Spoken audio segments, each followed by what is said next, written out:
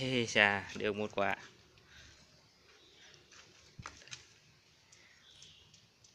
thiếu mà cũng có quả đấy. Thế mà cũng có quả đấy, thấy chưa? Không cho leo. Ý, quả to chưa? có được bán không Đủ bữa là tốt rồi. Nó, lá nó nó nó nó, nó rủ xuống mới nhìn thấy.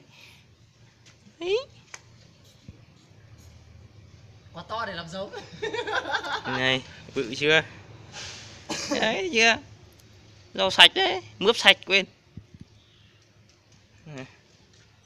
Khá là to chứ đùa đâu. Đâu đây có một quả nữa. quả bé tí tí Hai quả bé tí tí. Thôi kệ nó bé quá. nó còn chưa rụng rốn đi. Mướp chưa rụng rốn đấy.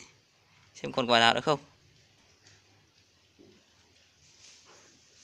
con quả héo vàng ấy Ừ? Bình thường lá nó không không không không táp xuống thì mình đếch nhìn thấy gì đâu. Nhỉ? Đây có một cây thôi mà. Thực ra là cái này cái cái mướp già mình mua về ấy, xong cái hạt anh vứt lên đây ấy. Nó lên thì mà đấy. Ba quả này đủ bữa thôi. Tối nay xào trứng. Ăn tuyệt vời. Dạ, mướp sạch nhá. Xem chỗ này có còn. Đây này, trong này đây cũng có một quả nhỏ nhỏ bé tí ti như như quả bên kia này này. Ngón tay út. Đây là mình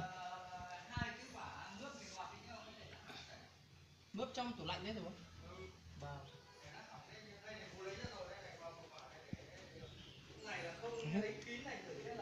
Ba quả là thoải mái bữa. Đây này đây một quả nữa đây này nhưng mà cũng biết ti ti thành này. Giáp quả vàng đấy. Đây.